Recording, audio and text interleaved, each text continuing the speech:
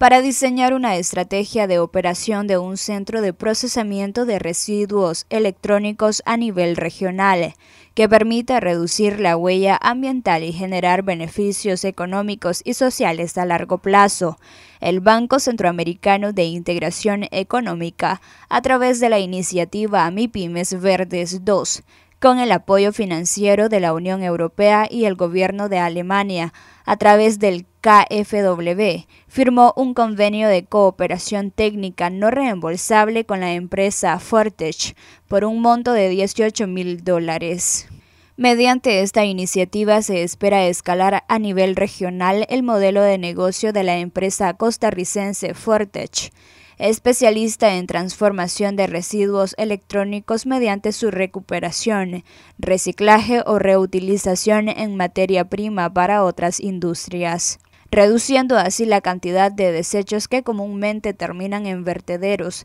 y provocan gases de efecto invernadero. Además, esta innovadora propuesta busca reducir la pobreza mediante la generación de empleo en la cadena del negocio, con posiciones desde recolectores de base hasta personal administrativo, priorizando la fuerza laboral femenina mediante políticas de equidad de género. A través de la iniciativa MIPIMES Verdes 2 se han otorgado más de 37 millones de dólares en créditos y más de 3 millones de dólares en garantías a nivel regional, protegiendo más de 10.000 empleos y atendiendo a más de 600 MIPIMES.